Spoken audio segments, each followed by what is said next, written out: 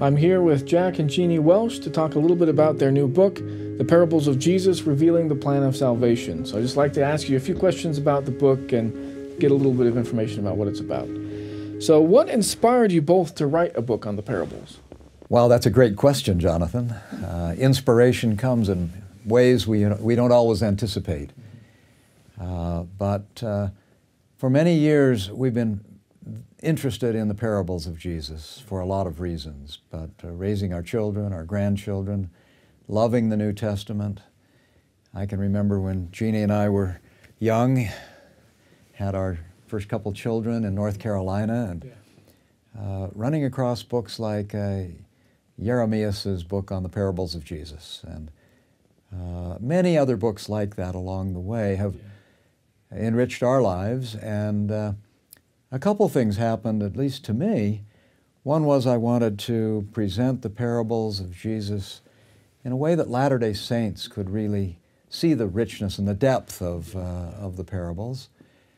There are many books written about the uh, parables and some by Latter day Saints, but uh, I, I wanted to do one that was a little more personal from our perspective. And, and I guess the other thing that uh, you know, when you do a book, you do have an audience in mind, right. many of them probably, and yeah. and uh, my grandchildren were always a big part of my vision for this book, and so it's dedicated to them. That's awesome. I I think, uh, as Jack had said, the Jeremias book and the C.S. Lewis book on the Psalms mm-hmm. as well. Anything that provided extra details that gave us new insights into better understanding the parables. They're very simple stories, and yet they can be understood on multiple levels. And I think extra details that gave you an aha moment of getting more out of them has been interesting to us from the beginning. Yeah, yeah, yeah. So tell us a little bit about the book. How is this book different than any other book I could go get at the store about the parables? As far as I know, there has never been a book that has tried to see all the book, parables in a, a unified whole, as a sequence. Yeah, okay, yeah. And so I've always looked for coherence. If Jesus taught all of these parables, what was it that uh, held them together? And my initial work on the parable of the Good Samaritan made it uh, clear, at least to me, that Jesus was teaching what we might call the plan of salvation. Mm-hmm. And I then started looking for the plan of salvation in other parables. And what became clear finally was that the parable of the Good Samaritan, in a way, is the master parable. Yeah. And then each of the other parables uh, emphasizes and teaches a more specific doctrine, a part of the plan of salvation. Yeah. And when you put the whole string of parables together, you get then the full teaching of Jesus on the plan of salvation. Yeah, yeah, yeah. So I don't think any book has ever done that before. Yeah, that's great. We also were inspired by a quote from Joseph Smith, who said in the teachings of the prophet Joseph Smith, if you want to understand the parable, look to what question drew the parable out. And so, I, one of the things that we explore in every parable right at the beginning is either the question or the circumstances. What happened just before this? Who asked the question? What might have been their motivation in asking the question? And frequently, that revealed a great deal about the purpose of what the parable was. Also, um, we looked in every parable where where is Jesus Christ? Mm. because he paints himself. He is even when it's simply an allegory he is usually one of the major figures or symbolized by something in the parable. So the three main points would be where is this parable? Where does it figure in the plan of salvation? Where is Jesus in this parable? And what was it that drew out this parable? What was the instigator of the, the um, main idea of the parable? Yeah, and as Jeannie said, and one thing that she found in our uh, reading and research was uh, another statement by Joseph Smith. Uh, in introducing his comments on the parable of the talents, Joseph Smith himself said that one thing we must bear in mind if we're going to understand this parable is the plan of salvation. That's great. That's great. So it's uh, bringing all of these together that So we're on good ground. So he's he's made the connections too. Yeah. Yeah. Sometimes when I look at the question that prompted the parable, and I look then look at the parable in a very superficial way, I go, well, what does this have to do with the question? But when you look at it with the plan of salvation, it does actually answer the question. Mm-hmm. That was a beautiful realization. And one thing that uh, we found is that sometimes more than one question Yes. throughout yes. the parable. Yeah. And the uh, Good Samaritan is a good example of that uh, because there were actually two questions. Uh, the, the lawyer came and said, Good master, what must I do to obtain eternal life? That's question number one. And then, of course, Jesus says, Well, how do you read? And he gives the, uh, the two great commandments Thou shalt love the Lord thy God and thy neighbor as thyself. And Yeah. that's part of that. And then the next question is asked by the lawyer And who is my neighbor? And uh, lawyers should know know better than to ask questions they don't know the answer to because uh, but he he asked two questions Yeah. and what's interesting to me in that case is that Jesus then answers the the second question who is my neighbor mm-hmm. Mm-hmm. by telling the story of the good Samaritan but in the process he also answers the first question Yes. Yes. which is and what do I need to do to obtain eternal life in other words tell me the plan of salvation Yeah. Yeah. which is a characteristic, as Jeannie is saying, of the parables. They can all be read at multiple levels. And looking at the situation, looking at the questions, looking at the people, their needs, helps you to understand all of the different nuances and levels that the parable can be read at. And you can add your own Yeah. as you read it. And if you have ears to hear and eyes to see, you too will understand if you know how the parable is to be used. That that is what is an important characteristic of the parable. In its very simplicity, it's applicable to all time and to all places. So what was applicable to those who are hearing it from the very lips of the Savior is also something that can be applied to us today, something that we can learn from and change our behavior because of this. So it's something so universal. That's why they are appealing, understandable for very young children, but also certainly very important for us today at wherever we are in our life. That is really beautiful. So, let's talk a little bit more about the structure of the book. So, how many impar- how many parables did you include? Did you try to include all the parables of Jesus? Well, how many are there, Jonathan? Yeah, that's a good question. And how do you count them? right, right. What counts as a parable? Yeah. And, uh, and sometimes a parable may uh, actually be two parables in yeah, one. yeah. yeah. It's very difficult to define. Right. Some parables are very short, like, Yeah. ye are the salt of the earth, Right. or a city on a hill cannot be hid, or don't put your lamp under a bushel. Uh, are those parables or metaphors? Actually, I, I think they're all consistent with Jesus' use of real life experiences to teach profound eternal doctrines and to inspire not just faith and belief and ideas, but action and doing and keeping the commandments and actually being the kind of people that we should be. Yeah. So, uh, how many there are, I don't know. At the end of the book, we, we include a table or a chart. Mhm. I love charts, as you know. Yeah. and uh, uh, there are 68 parables on Okay, that the chart. Okay. Uh, and uh, about half of them are treated in the book itself, Okay. although many of them are mentioned in passing. Uh, so maybe there's another volume there's here another yet to be done. Yeah. yeah. But uh, Yeah, that's great. yeah, the, uh, the, the Bible, the scriptures are all so open ended to, uh, uh, to touch all of our hearts and souls that uh, uh, how many, O Lord? How long, O Lord? It's, that's why we say it's eternal. Yes. Yes. Yeah. Oh, good. Good. Well, to go back to how you used all the parables in each in the chapters, how is the book broken up exactly? Well, the first thing we've done is we've used the plan of salvation as the organizing principle. Okay, yeah. And so we begin with the most important what is the, uh, the, the, core doctrine of the gospel? It's uh, recognizing Jesus Christ as the, uh, our Lord and Savior. Yeah. And uh, so the uh, parable of the woman at the well. Now, is that a parable? Well, for us, when he's talking about living water, Yeah. that's already a parable, although it's, it's actually based on a real conversation with a real person. And you wonder how many of the parables maybe were being drawn out of human experiences in Jesus' communities. Yeah.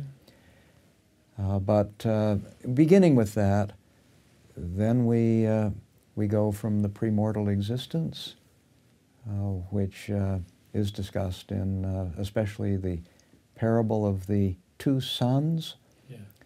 where a certain man had two sons, and one was willing to do the will of his father, and the other was not. Yeah. And Jesus tells that parable in answer to two questions. By what authority are you doing all of these miracles? Yeah. And who gave you that authority? Yeah. Yeah. And Jesus, of course, uh, is asking the chief priests, and they refuse to answer. And so Jesus says, Well, then I, I'm not going to tell you a straight answer, but how about a story? yeah. Yeah. And I think they understood that he was talking about uh, what we would consider the premortal council. Yep.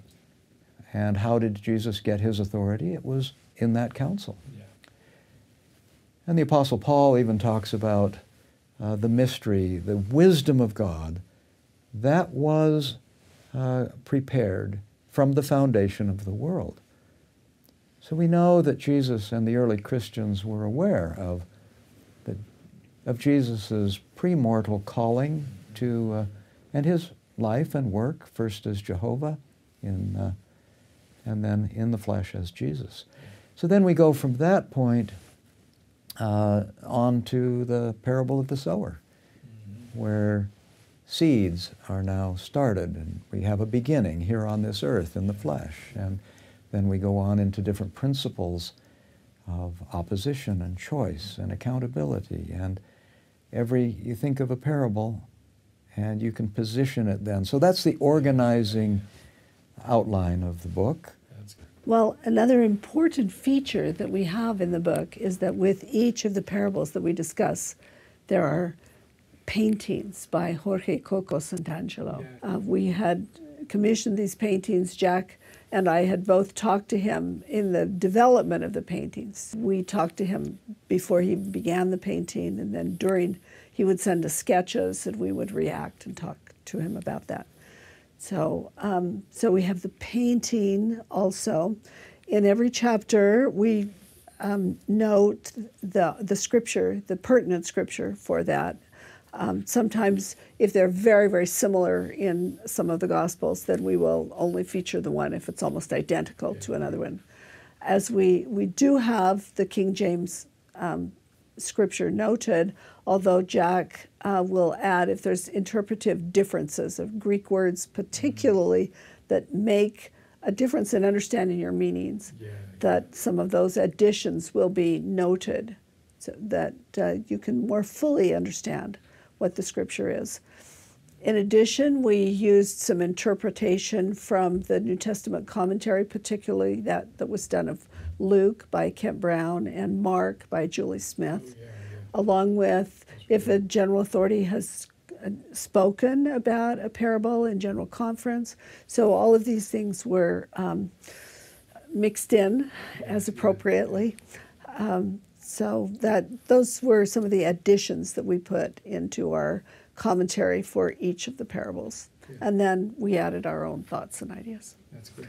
That's good. As I said to somebody, it's been a very long conversation as we um, have been working on this over a, a long period of time, at least a couple of very intense years. Yeah. Well, that was probably a really great experience for the two of you to be able to work on something like this together. Absolutely. And uh, you know, I, I strongly believe that uh, any writer should uh, submit drafts and get feedback and reactions. And so, as I would uh, take material that Jeannie had collected and organize it into a rough draft of the paper, we'd go back and forth three or four times Yeah, on yeah.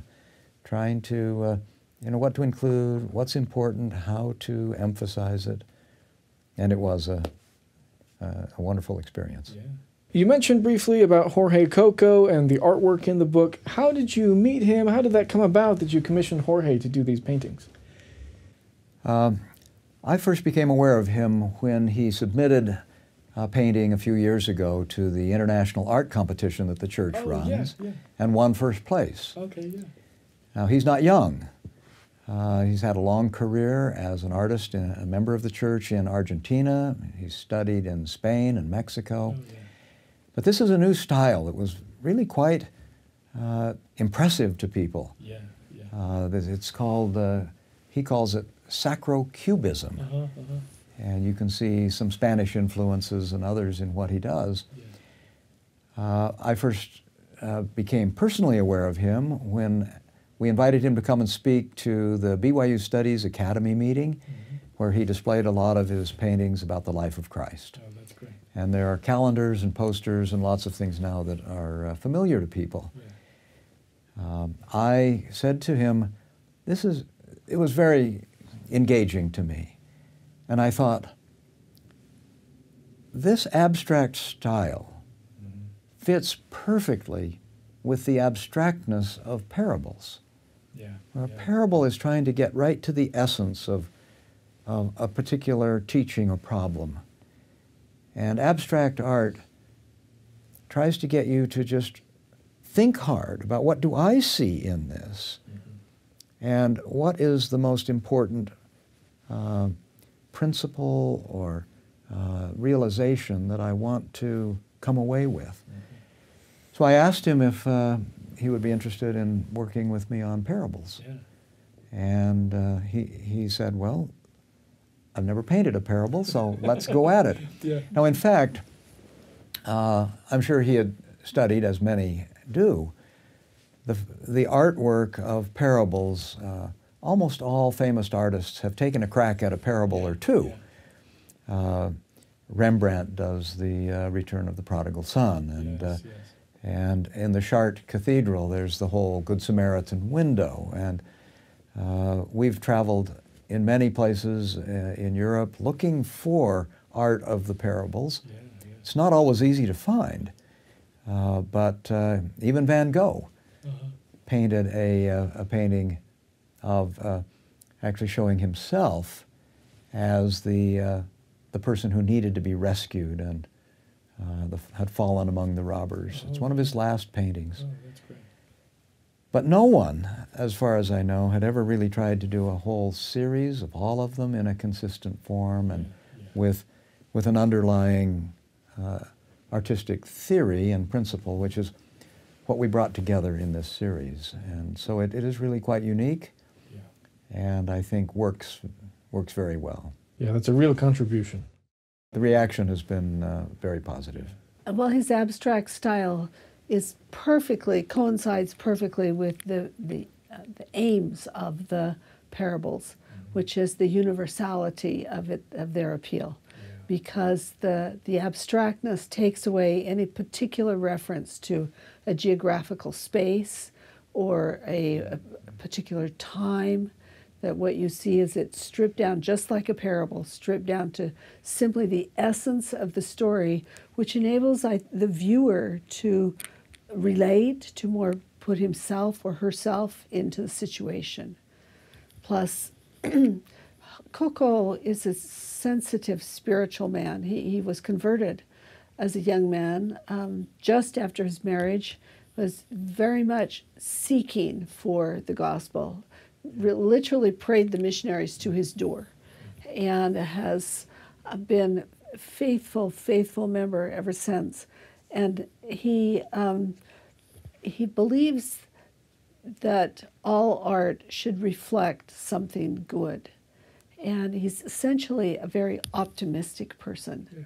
And the, the messages of the parables are essentially hopeful and optimistic. Even those that talk about the separation um, are still essentially hopeful for the final judgment with yeah. God's mercy overshadowing everything. Yeah. And so I think his vision captures really well the vision of the Savior. And I might also add that uh, being from Argentina, he spoke Spanish. Mm.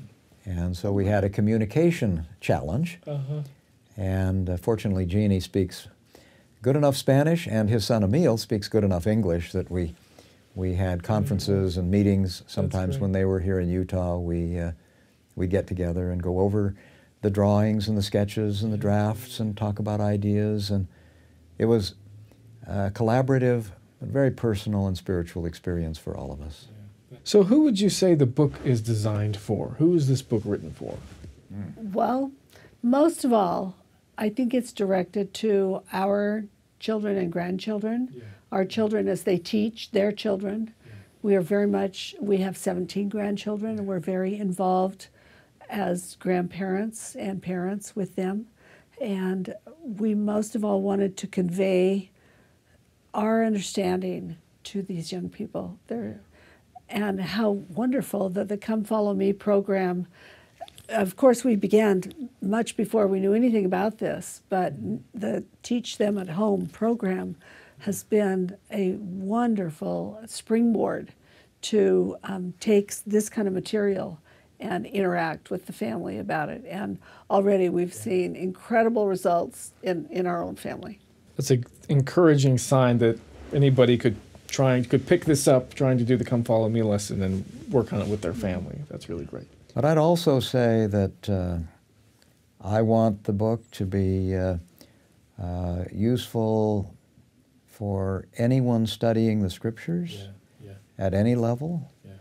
Uh, what we get uh, in the, uh, the commentary portion of each one of the chapters is, I wouldn't call it an exhaustive coverage of the possible interpretations but we try to give people tools, linguistic tools, uh, uh, theoretical tools.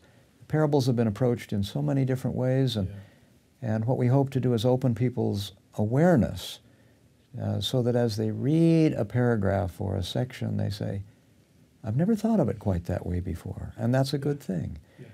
So where our audience is uh, uh, people who are looking for la- greater light and knowledge, you might say, yeah. Yeah. and uh, want the latest information uh, so that uh, you know we're aware of uh, academic uh, discourse on the parables. And I will say that one of my conclusions from the work that I've done here is that most people, uh, scholars, when they read the parables, they treat them as isolated individual speeches yeah, yeah. Or, or comments.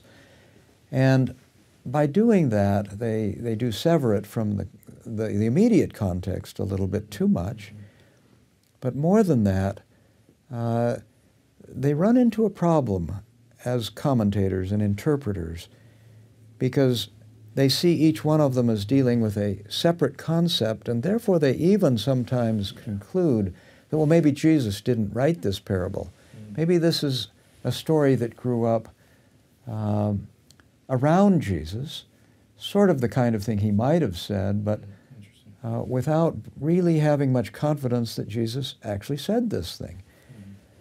Um, but when you have the larger plan of salvation context, what comes first, the individual interpretation or the, or the overall uh, big picture? And one of the parables we use in the beginning of the book is uh, the idea of a box of puzzle pieces. You know, you have the picture on the box, then you dig into the puzzle, all the pieces, and each piece does look like an independent piece. And you have a hard time putting them all together.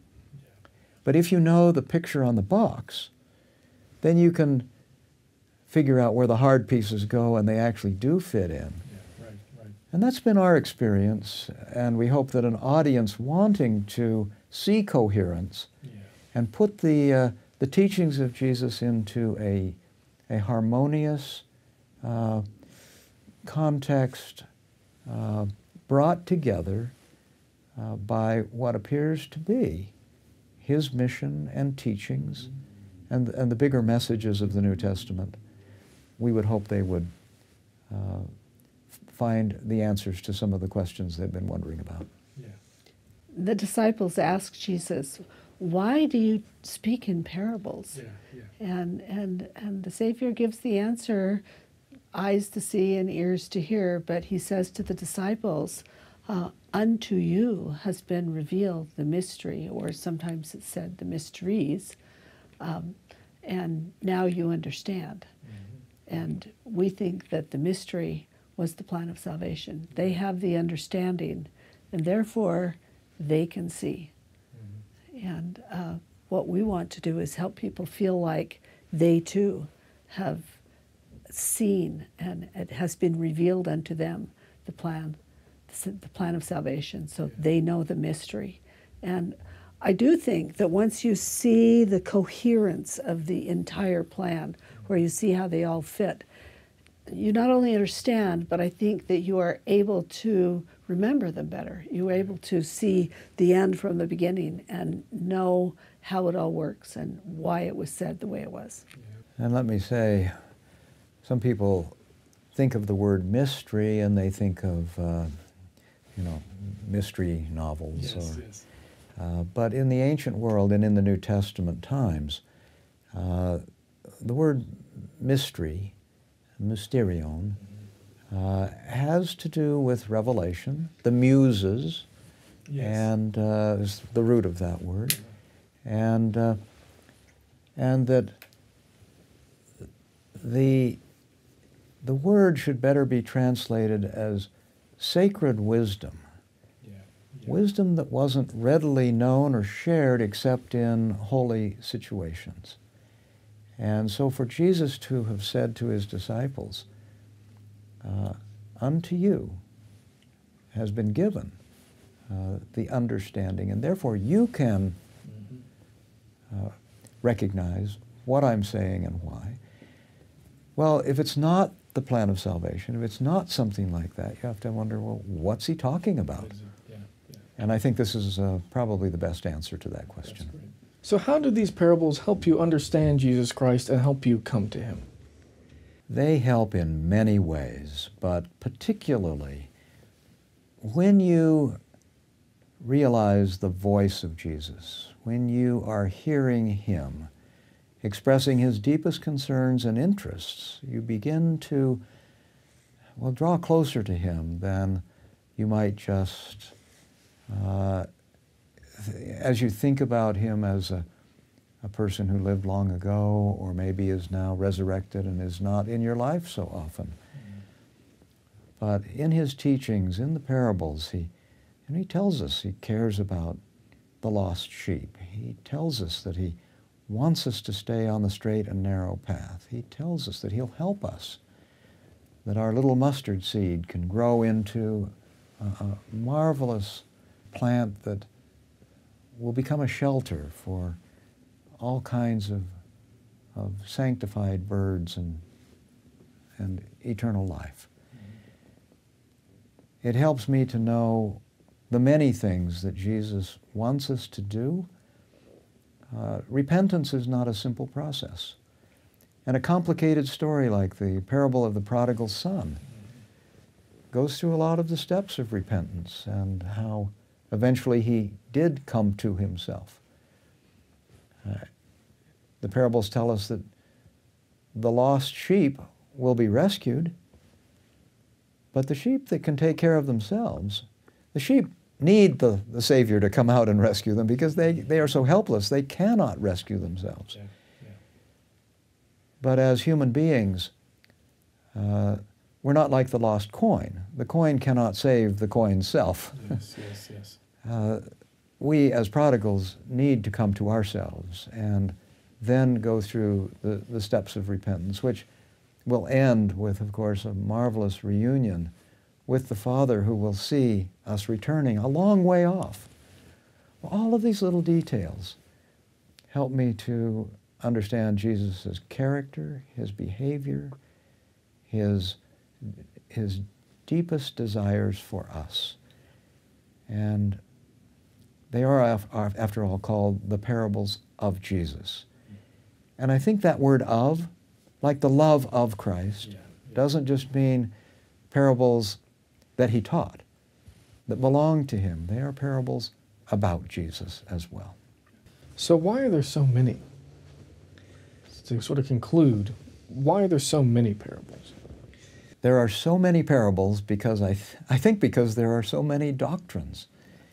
Uh, the doctrines of the kingdom are taught in abundance.